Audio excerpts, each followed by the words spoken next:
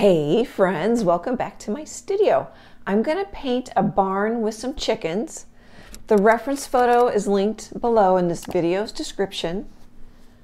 I found this on pixabay.com. It's a nice, simple photo.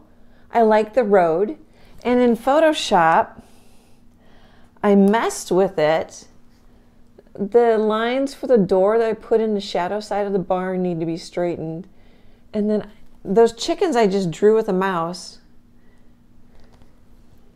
And really, they're white with a blue shadow, red blob, and then a dark cast shadow on the ground. And they look like chickens. Isn't that fun? I'm getting better at simplifying. And you don't have to. You can paint details. But like here I am. Um, I'm going to show you the tree. I simplified the tree a bit in Photoshop to help me see it better when I'm painting because sometimes when I'm painting I get lost in the details. The details can be fun. So there's the, I cropped the photo square in Photoshop. I've got a 12 inch by 12 inch cradled wood panel from US Art Supply. It's an inch and a half thick.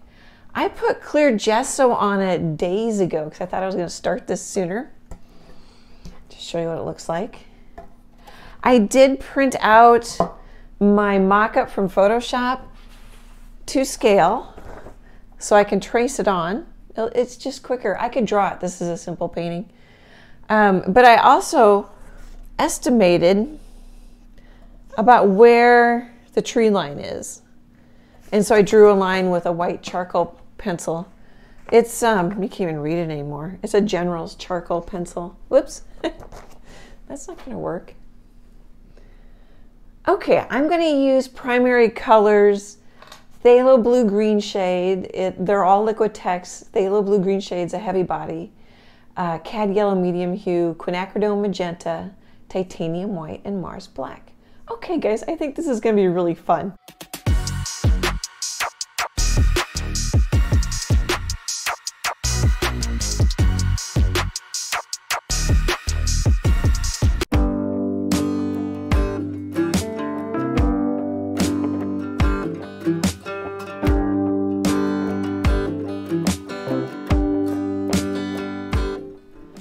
Let's set the table.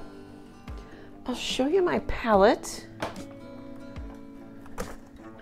The sky is a combination of phthalo blue green shade, titanium white, and a little Mars black. It still looks quite blue. It looks to me like a fall sky, almost a little aqua. Um, I like that. I like that combination. The black mutes it down just a little bit. I used a one inch flat brush from Blick Art Materials. It came in a pack of three brushes, really inexpensive. Uh, hang on guys, I'll be right back. Okay, I was talking about the brush and my palette. I had a phone call. So I, oh yeah, I know I showed you the cheap one inch brush from from Blick Art Materials. I, I think Michaels, if you have a Michaels near you, a craft store and art store should have a pack of these. I use it for both the sky and the, the ground. I'm pretty sure I talked about that color. So I took a little bit of the blue, a lot of cad yellow, medium hue, a little bit of black, and mixed a green. And I pulled some of that out, made it a little bluer. Uh, I think I also put a more black in it and then white. So I have gray, green, and lighter in the background. And then as it comes forward, it gets darker and warmer. One nice thing that happened, I dried this with a hair dryer. I don't know if you can see it. This will probably be covered by the barn, but that's the best example. That's actually the wood showing through, but it makes a nice little, I don't know, like there's some plants growing there or something. Um, there's a little bit, that one might show. There's a little bit right there. Just little happy accidents. Okay, I'm gonna let this dry overnight, which I like because it helps it, oh, I don't know if cure is the right word. It's dry to the touch, but it'll be drier by tomorrow. I'll trace the barn on, um, the tree line, the road, and uh, we'll have we'll have some more fun. Okay, guys, back in a bit.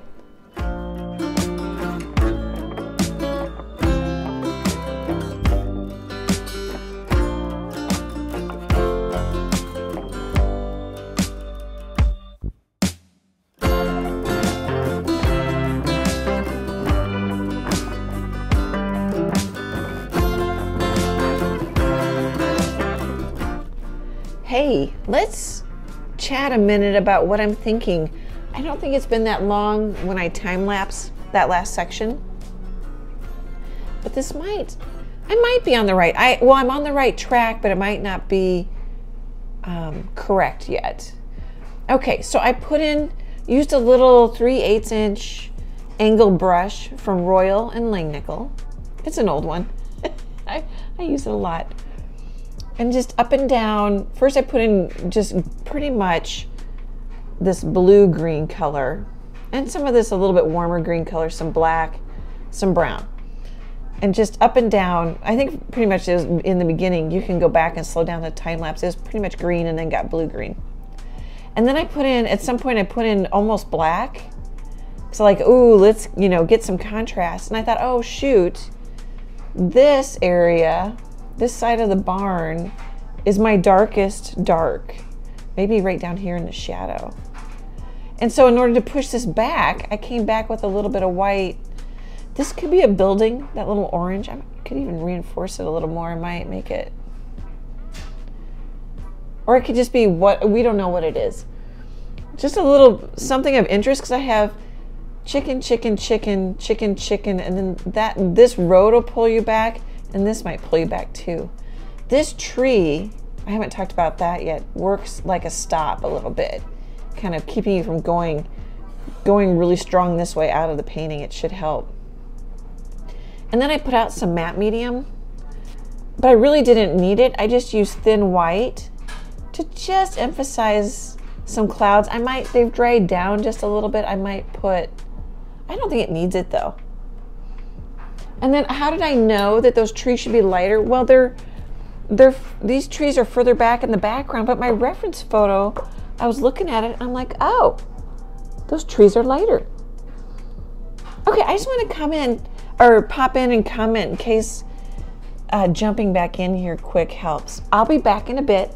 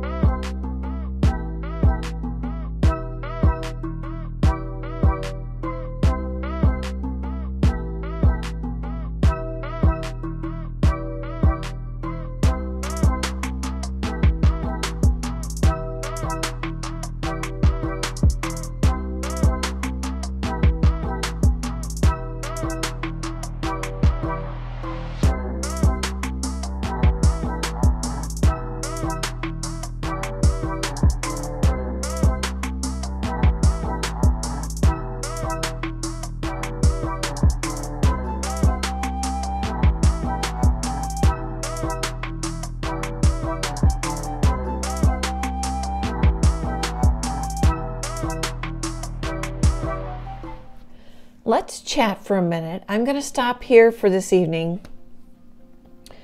It just popped into popped into my head. How long have I been working on this painting? Um, maybe six hours today. I laugh because when it's looser and simple, it doesn't look like six hours of work. Okay, um, let's start here on the left side. I did lighten up and make more simple the lighter areas of the tree, fewer leaf dots, more just shapes. I like that. Um, I've played, I had, I did have some vertical darker lines down here. I, I ended up going all horizontal because it was the only place I had the verticals. Didn't make so much sense. I did dark, I think since I've talked to you, I darkened this. I've been playing with lightening the road, but I don't want it too, because I'm going to have the chickens be white with blue shadows. So I don't want to get it too light. Added glaze some yellow. That's always nice. You can just scrub. Here, I'll just I'll grab a little bit of yellow Oh, my hand's red. Grab a little bit of yellow. And you can, I don't know if you'll be able to see it. I think you can there. Just make it a little bit more yellow. It's so nice that you can do that. I like the subtle change changes.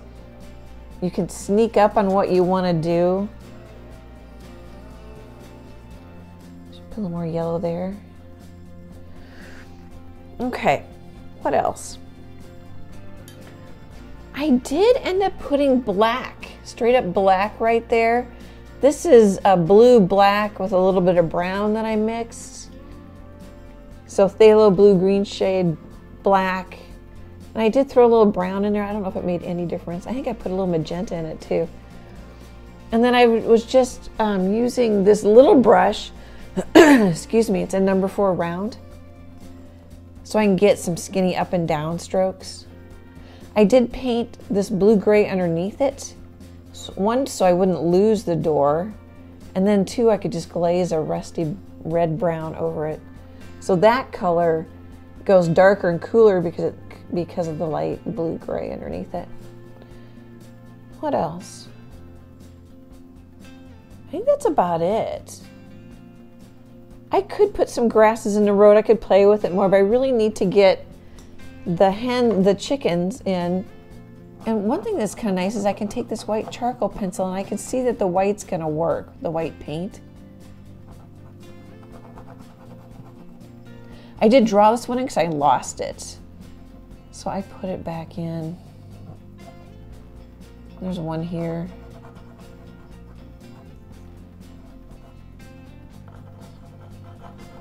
Oh, the other thing I'm doing is basically working back to front, underneath to what's on top. So the sky, and then I just had the greens. Um, oh, I already said I darkened this because I wanted the road. I could keep lightening the road, but I don't want it white, so I end up just darkening the grass. Um, so sky and the first pass at the ground, you know, this tree line. I have, I, that's like a little building or something right back there that kind of rusty orange. I like that. I talked about how I think that might help curve you in. Um, so, okay, sky, this tree line, the trees. I did I did change this after I had the trees in. You can make changes if you don't work in the exact right order. It'll be totally fine. Um, road, grass. Now I'm working on the barn, and I'm going to do the barn because this chicken is in front of the barn. So I think the chickens will be last. Acrylics are so so forgiving. You could do it the other way around. I've done paintings where I don't paint the whole sky. I paint the sky around the image. You can do that too. Okay, there's my palette. I don't know that there's anything to really comment about it, just mixing colors as I go. I will see you guys tomorrow.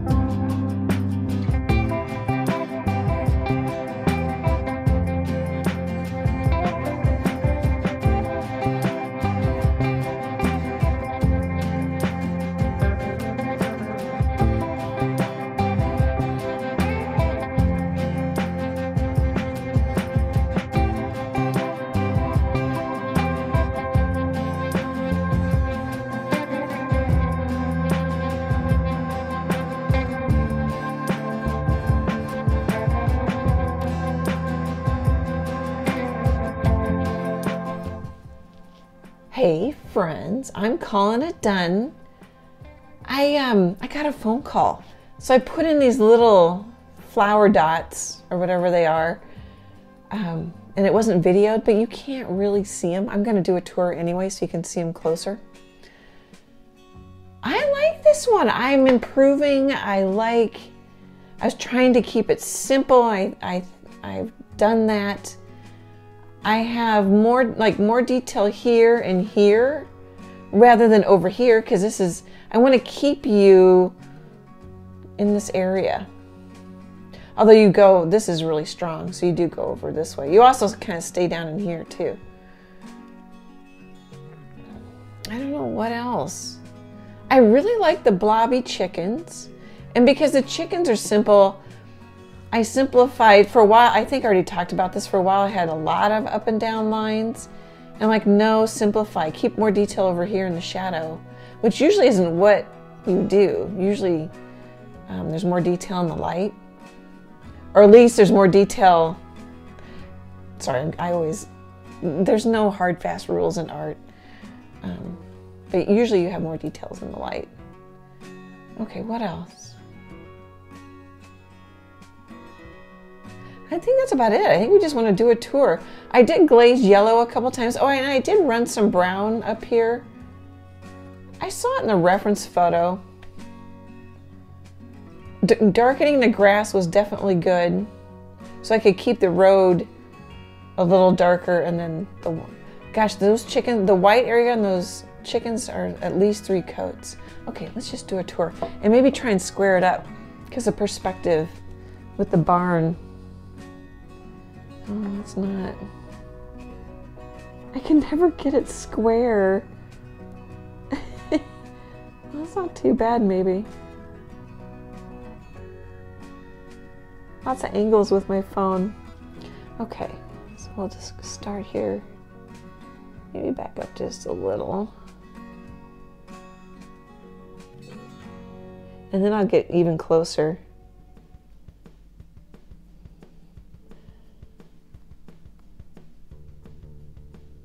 I linked the, re oops, I'm a little wiggly. I linked the reference photo in this video's description.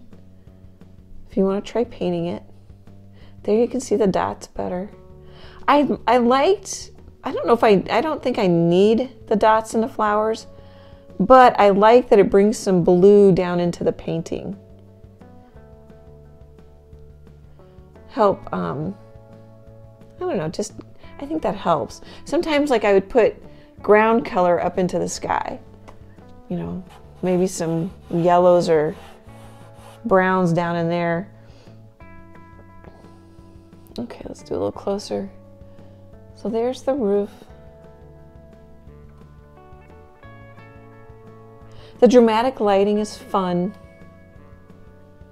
There you can see some of the detail in the shadow now, shadow area. I like that the boards are almost white and worn where the rain runs down the side of the barn. There's some of the, isn't that fun that those blobby shapes make chickens? I just love that. And a shadow anchors them.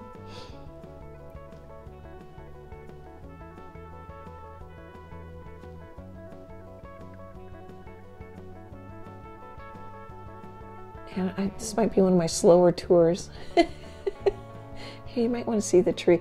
So the, the orange building or whatever that is off in the distance, I think that's really fun. I'm pretty sure I've talked about that already. And there's the tree. Sorry, I'm so wiggly. It's quite close to my phone. And it does go over onto the side. And maybe you want to see the other side too. The barn goes over.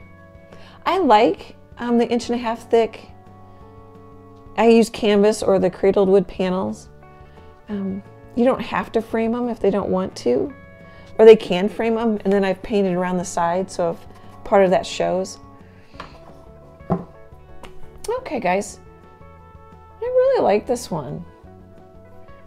Um, it's, it's good. The more I paint, I don't always see my um, progress like I don't see a ton of progress when I'm looking at this painting that I just finished. But when I go back and look, I'm like, oh yeah, yeah. And I keep pushing myself to learn new things. Oh, I did make that cloud brighter. I don't know if it makes any difference. Boy, I don't know if you can even see it when you when you're when I'm pointing to it. But just, you know, more more strong detail things in this area. Okay, guys. I can't thank you enough for your support. I couldn't do this without all of you. I couldn't be a full time artist without you. Uh, great big, we got to do this great big, get my hand in here, happy art hugs, and I hope to chat with you soon. Bye, guys.